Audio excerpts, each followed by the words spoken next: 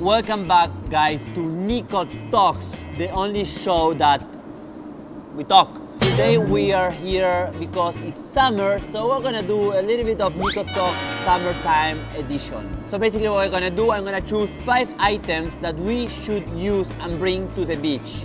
Okay guys, if you're ready, let's go. Do this. So when I go to the beach, I don't like to sit on the sand. I like to have my, my, my back straight. So I like to sit on a comfortable position. So for me, one very, very important thing would be to bring a proper chair that is comfortable for you in the beach. So this will be my first pick for the beach. You can use different style of chairs. There are other kind, but this one for me I think is pretty good. So when you go to the beach, normally you have these grillers there. You don't need the grillers, but but something very important is the power. So what we actually need is a Champion Global Power equipment to make sure we have energy. So let me. Ah, okay. Ryan, can you help me? So guys, this is Ryan. Come here. First, let me introduce. This is Ryan, uh, aka the Filipino Justin Bieber. so can you help me to with this? Wait. One, two, three. Let's go. Ooh. It's pretty heavy. Okay, that's good, that's good.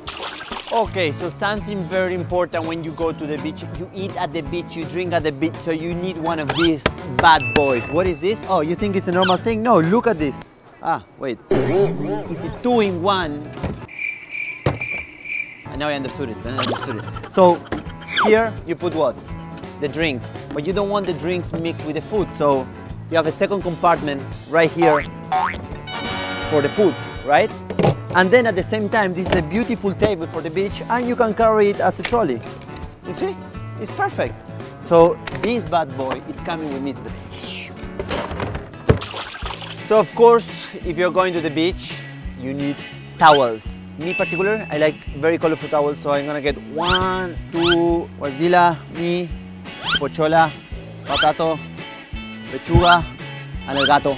So five towels for the whole family. Ooh, okay. We made the second card. and I need one more thing for the beach. Let's go get it. And lastly, you need to have fun. You only need no balls, a ball, a ball, B-A-L-L, okay? So that's what you need in the beach. So what you do is, in Argentina, the way we do, we put two different t-shirts that are the, the goalies, and then we play around. In our case, I'm gonna play by myself because nobody in my family plays football with me here, okay? So this is my last item for the beach, and I think with this, you may have a, a little bit of overweight issue if you're flying there, but it's okay. It's worth it. Every single item here, you need it for the beach, okay?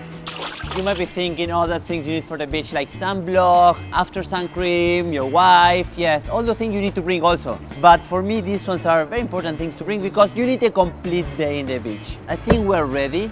I think we are good to go. This was Nico Talks, the beach edition. Keep tuned and wait for me. If you see each other in the beach and you want some drinks and food from my this bad boy, you will get it.